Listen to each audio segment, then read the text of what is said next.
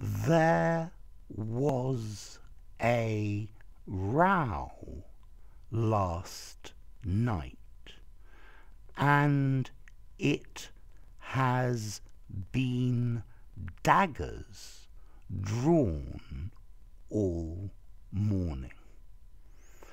So there was a row, a dispute, an argument last night. And it has been daggers. A dagger is like a knife to stab someone. Daggers drawn to pull the dagger out it's been daggers drawn. People are the people are very wary and uh, at the edge of fighting with each other all morning.